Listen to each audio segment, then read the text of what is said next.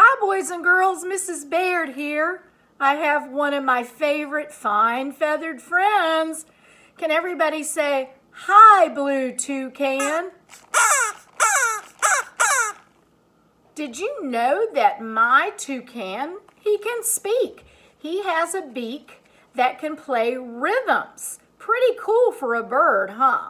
Uh, the blue toucan, of course, is not a native bird of Virginia. You would have to go to a jungle, probably a long way away in, say, South America, uh, in order to see a big blue bird like this one. But the fun thing about him is that he can open his mouth very wide when he sings.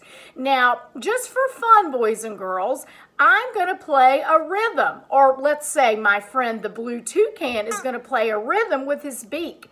Can you listen to it and clap it after he does it first? All right, everybody listen. Here he goes. Ta, ta, ti, ti, ta. He can play rhythms really well. Boys and girls, he's going to play the rhythm again, and I would like for you to clap it back. Listen first.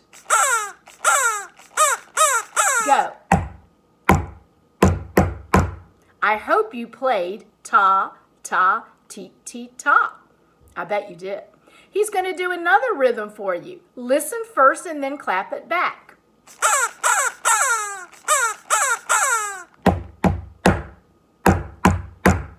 I'll bet you did. Ti, ti, ta, ti, ti, ta.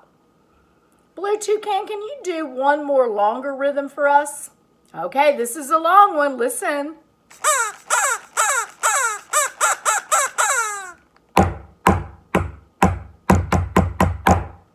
Did everyone go ta, ta, ta, ta, ti, ti, ti, ti, ta? I'll bet you did. Thank you, Blue Toucan. Now, today's lesson is really not about the blue toucan. It's really about another bird. And since the month of April's here, we might just hear a little song today called the Blue Toucan. Can you make an impersonation of this bird? Listen.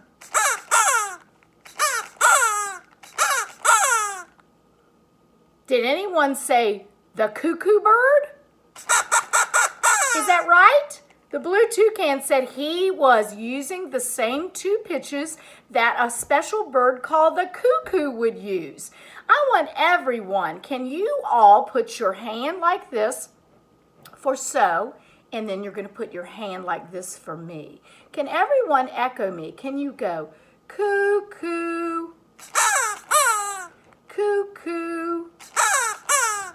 I'm going to do it a couple of times in a row. Thank you, Blue Toucan. Can everyone use two hands this time? I like for everybody to be my echo. Coo, coo, coo, coo.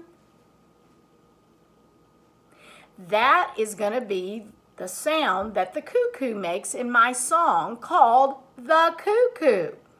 I am going to sing it for you, and when I say cuckoo, I want you to echo back. Are you ready? The month of April's here, the cuckoo now has sung. Cuckoo, cuckoo, the cuckoo now has sung. I'll try it again. Be ready to be my echo when I say cuckoo. Are you ready? The month of April's here, the cuckoo now has sung. Cuckoo, cuckoo, the cuckoo now has sung. If I go back to the beginning of my song, I want you to put in the two cuckoos with me this time. You got your hands ready? The month of April's here, the cuckoo now has sung. Cuckoo, cuckoo, the cuckoo now has sung. I bet you did a great job. And just for fun, I'm going to play the song for you on my recorder. Hmm. The recorder can't say words. The recorder can only play the melody or the tune. Challenge. Every time you hear the sound like this. when you hear cuckoo, I want you to use your hands to go cuckoo. Are you ready? See if you can do it.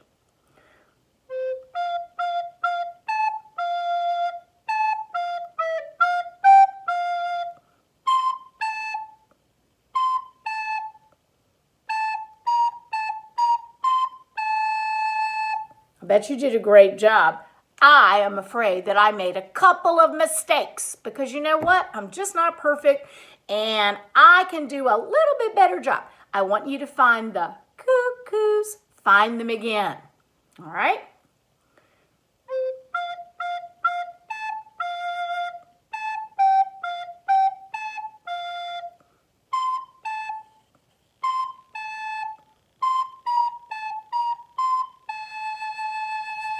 I know you did a wonderful job finding cuckoo, cuckoo.